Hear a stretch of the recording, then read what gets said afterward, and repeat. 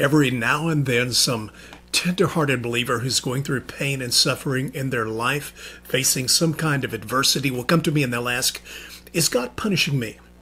Uh, could, could God be punishing me for some sin that I've committed? Is that why I'm going through this suffering in my life? Now, I always tell them the short answer to that is absolutely not. That atonement means that Christ took all of our sins, took all of the punishment we deserve in his body on the cross.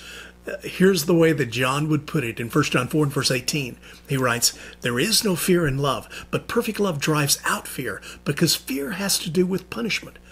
Notice John says there is no fear in love. Why? It's because for those who are loved and forgiven, punishment is off the table. But someone might say, wait a minute. Doesn't the Bible say that God disciplines his children? Absolutely. Read Hebrews chapter 12 sometimes. But discipline and punishment are two very different things. Punishment is punitive, while discipline is corrective. Uh, the emotion that generates punishment is anger or wrath.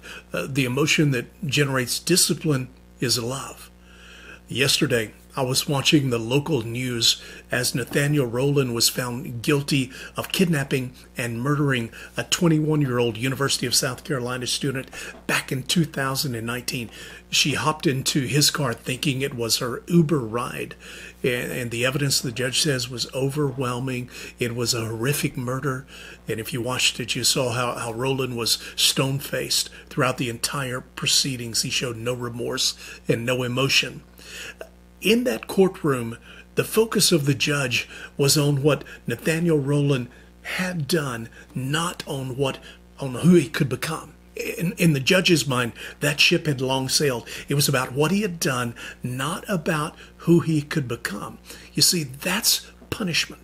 Punishment is focused on the past, on what's been done. It's punitive, not corrective.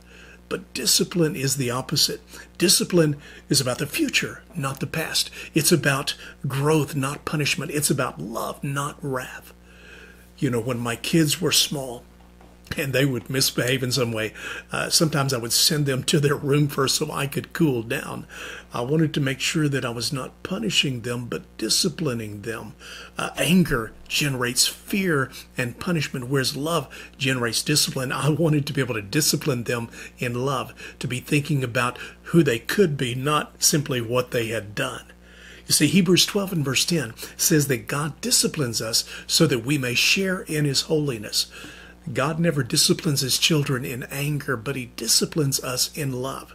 So please don't ever confuse discipline with punishment. If you're a Christian, Christ took the punishment for all of your sins, past, present, future.